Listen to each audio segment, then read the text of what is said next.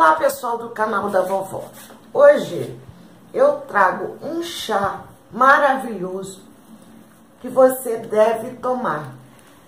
É um chá de salsa, salsinha que todo mundo tem na cozinha, né? Você hoje, através desse vídeo, você vai conhecer as maravilhas que é essa plantinha, esse tempero maravilhoso que além de deixar um gostinho muito bom na comida, ela faz muito bem. Não só através de suco detox, mas através de chá. E aí você vai ver o quanto ela é importante no nosso organismo. Então, vamos lá, eu vou te mostrar o chá e as propriedades da salsa.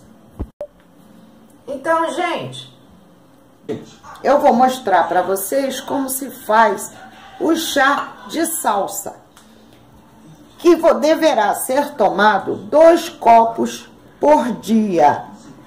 Mas você vai usar apenas um punhado de salsa, um punhado.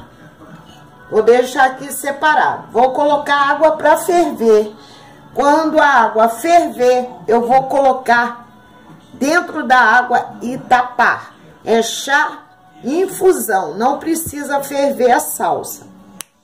A água ferveu, pessoal, eu vou pegar o punhado de salsa, vou colocar aqui em infusão por alguns minutos, tipo cinco minutinhos, tá? Então, gente, ficou em infusão e agora nós vamos, eu já disse, você vai tomar dois copos para melhorar o sabor, você vai acrescentar limão. Aí é a seu gosto. E o limão, como ele também é antioxidante, tem vitamina C, você vai estar tá muito bem com esse chá. Depois de você conhecer essa plantinha maravilhosa, o que você tem que fazer é deixar um like no canal e se inscrever no canal da vovó.